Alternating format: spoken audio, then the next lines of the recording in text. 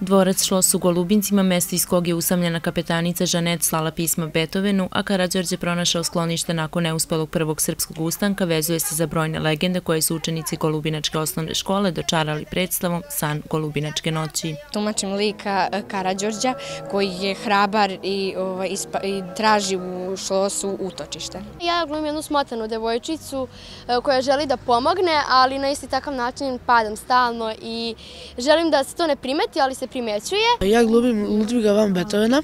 To je e, lik koji se zaljubio u njegovu devojku Žanet i došao iz Nemačke da poseti nju i zaljubio se.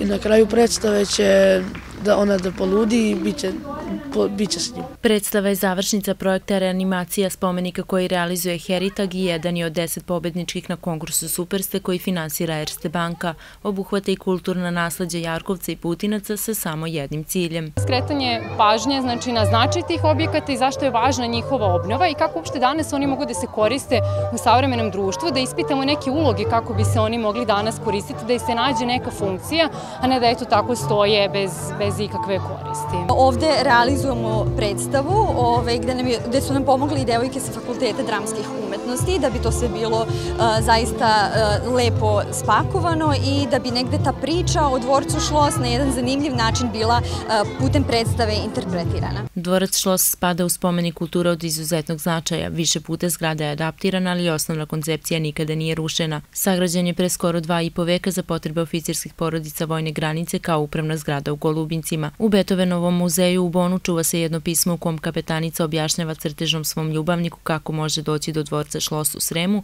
pa odatle ide i pretpostavka da i veliki umetnik boravio u Šlosu i imao ljubavnu avanturu sa lepom kapetanicom.